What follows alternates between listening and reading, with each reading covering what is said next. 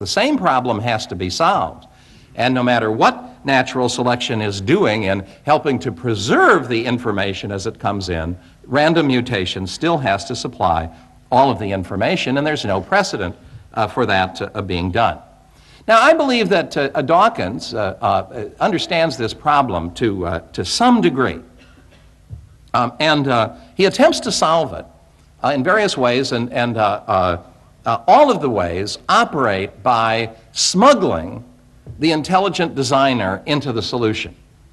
You see, we know you can write an encyclopedia if you've got an intelligent person writing the articles. Uh, so the question is how you do it without intelligence. Well, here, for example, is how uh, early on in The Blind Watchmaker, Dawkins offers to solve the problem. Uh, he, he imagines um, uh, the, the play Hamlet. Uh, and in uh, Hamlet, you may recall, you have Hamlet and Polonius are, are looking at the sky and they see clouds. And Hamlet is sort of making fun of Polonius. And, um, he, you know, the, the clouds often seem to be designed. You know, doesn't that cloud look like a whale? Ah, yes, it's like a whale, Hamlet, you know, very like, and, and Hamlet just toys with him. He says, methinks it is like a weasel.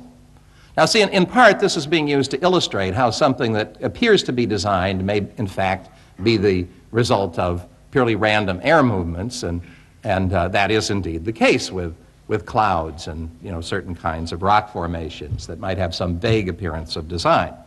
But then Dawkins takes that and he says, let us take this sentence, methinks it is like a weasel, and show you how we can get it by chance and selection. Now imagine that we have a, some type of computer which is generating random letters. You see, it just generates a random flow of letters, so that eventually every letter comes up. And uh, um, we now have a, um, uh, a, uh, uh a, series of 20 some spaces, however many it is, for this target sentence, methinks it is like a weasel.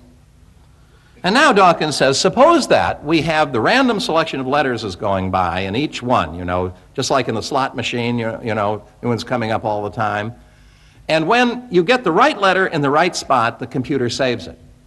You know, when an M appears in the first spot and an E in the second, we've got me, we're partway towards me thinks. You see, and on the other end, an L in the last spot and an E before it, and going backwards, we're partly towards weasel.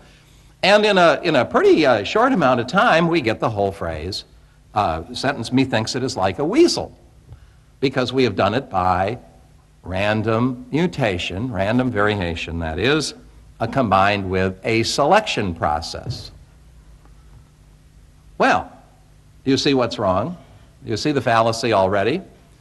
Um, it's, um, um, uh, you certainly can get that phrase rapidly. In fact, if you have a rapid enough letter generator and you have a properly programmed computer, you can get the complete works of Shakespeare plus the Cardiff telephone directory as a bonus, probably in a matter of hours. And the reason is, of course, because you